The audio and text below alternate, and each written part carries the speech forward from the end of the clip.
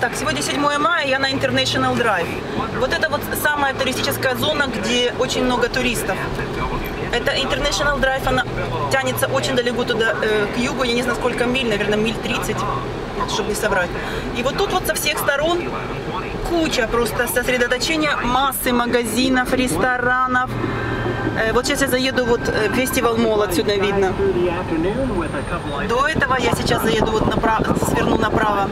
Мне нужно найти Рос, DJ Max там есть и громадный магазин с какой-то, э, просто там, наверное, обуви.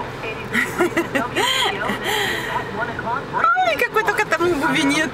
Э, Дочка заказала мне супер блестящие, приблестящие какие-то на ноги шлепанцы или босоножки. Вот я в поисках этих одуренных босоножек.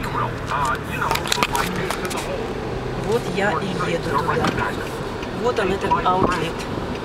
Вот тут мы сворачиваем. Аккуратненько. Так. Так. Где тут магазин с? Туда, конечно, если- если зайдешь, то оттуда уже очень сложно выйти. А, По-моему, я не туда приехала. Ладно. Сделаем кружочек. Тем более, что здесь практически никого нету.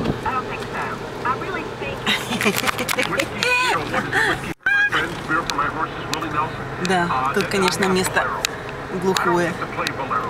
Туда мне не надо, в Ригок мне не надо, в Ке- Келвин Клейн мне не надо. Я не там свернула, да. А, Вот это аутлеты тоже. Стоки, так называемые. Как бы все, что не продано где-то там э, в магазинах, все сливается сюда, и здесь уже как бы с большими скидками все это продано 70% off. Вот написано Хагар. Что такое Хагар? 75% скидка на... Может мне сходить? А не пойду.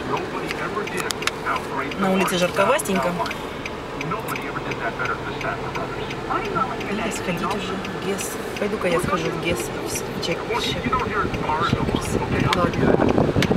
Так и быть. Схожу. Ой, разленились. Если бы можно еще было в машине э, по магазинам заезжать.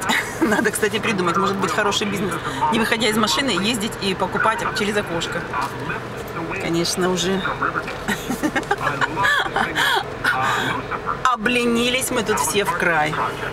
Это Америка, что поделать. Ладно, все, пока-пока.